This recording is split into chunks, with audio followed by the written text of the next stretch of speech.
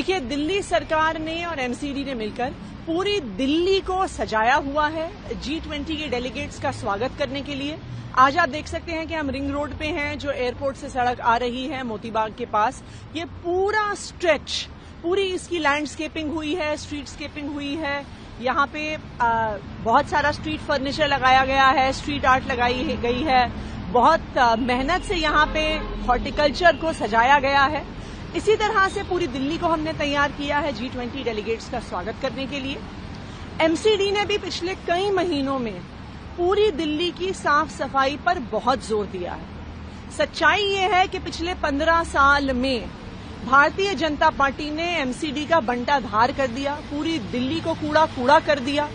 एक साल में केंद्र शासित एमसीडी में भी दिल्ली में कोई सफ़ाई नहीं हुई। इसलिए पिछले छह महीने से अरविंद केजरीवाल जी के नेतृत्व में एमसीडी को दिल्ली को साफ़ करने में बहुत मेहनत। बता दें एलजी साहब कि जो वो कहते हैं, उन्होंने इतना कूड़ा उठवाया। वो कूड़ा उठवाना किसका काम था? पंद्रह साल से एमसीडी में भारतीय जनता पार्टी की सरकार है। एक साल तक एलजी साहब ने एमसीडी को खुद चलाया। वहाँ पे कोई सरकार नहीं थी। फिर भी दिल्ली में कोई सफ़ाई नहीं हुई।